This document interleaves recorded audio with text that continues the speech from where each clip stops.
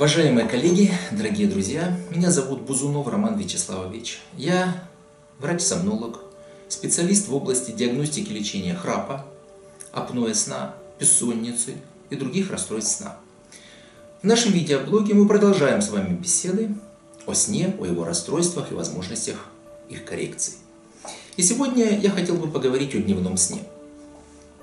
Казалось бы, э, замечательно, если человек хочет поспать днем, он может лечь и поспать. И мы знаем, что, допустим, есть такая сиеста в жарких странах, когда, собственно, сама природа требует того, чтобы человек отдыхал днем, не находясь в тени, не попадал под палящие лучи солнца. И только к вечеру, когда жара спадает, он начинает проявлять какую-то свою активность.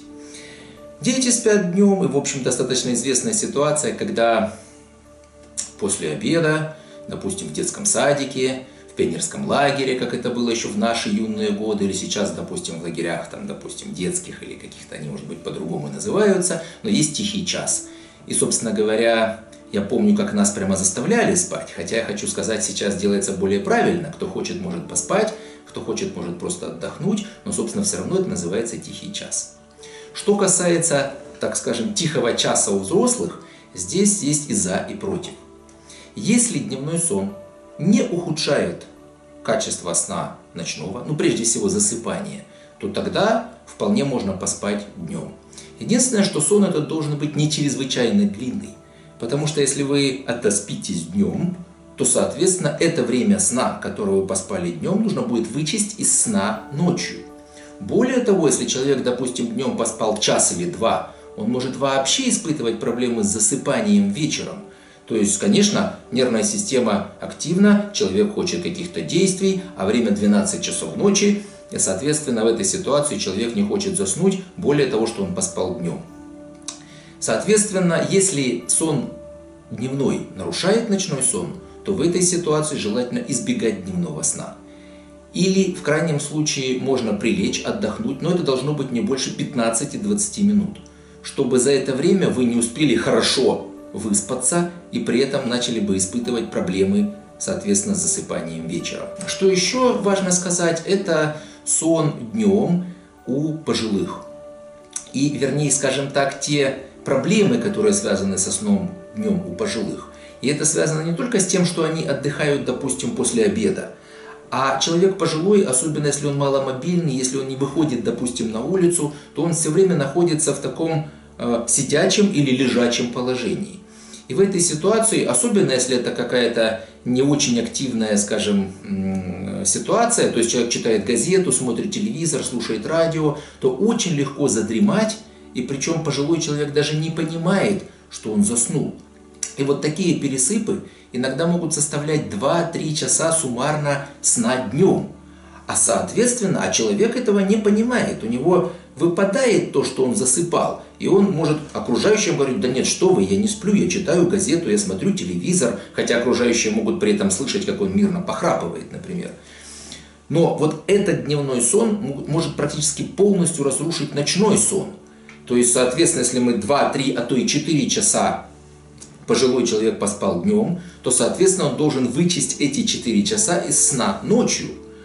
А человек-то думает, что он днем совсем не спал. И он хочет свои 8-9 часов ночью-то брать. Он идет в постель, пытается лечь в 12, допустим, ночи, а то и в 11 или даже в 10 вечера.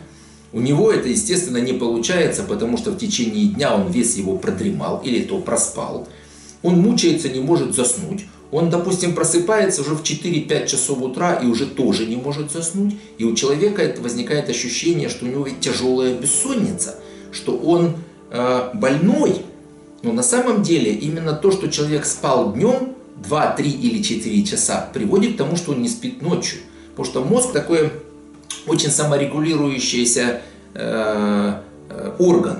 И, соответственно, если ему нужно спать суммарно за сутки 8 часов, то если он поспал днем 4 часа, то, соответственно, из ночного сна он не будет больше, чем 4 часа спать, как ты его не заставляй. А пожилой человек в этой ситуации думает, что он ночью спит всего 4 часа, а остальное время у него бессонница. Он начинает или сам принимать какие-то препараты, или идет к врачу и требует эти препараты. Если врач не разобрался в ситуации, что, допустим, днем человек достаточно много находится в кресле, в постели, у телевизора и может это время просто банально проспать. Он назначает препараты пациенту. И получается, что пациент и ночью начинает спать, и днем продолжает спать. И это, собственно, дополнительно ухудшает функционирование человека. То есть, соответственно, снижает его умственные способности, снижает его возможность восприятия мира, потому что снотворные транквилизаторы, антидепрессанты подавляют мышление, процесс, подавляют активность мозговую. Длительный прием препаратов приводит к так называемым псевдодеменциям, когда у человека снижаются умственные способности, когда он выглядит, соответственно, с утра таким дезориентированным, разбитым, а это продолжается действие снотворных. В течение дня он продолжает еще вести малоподвижный образ жизни и, соответственно, тоже продолжать спать. И у человека вообще нарушаются циркадные ритмы. То есть человек ведь днем должен бодрствовать, а ночью спать.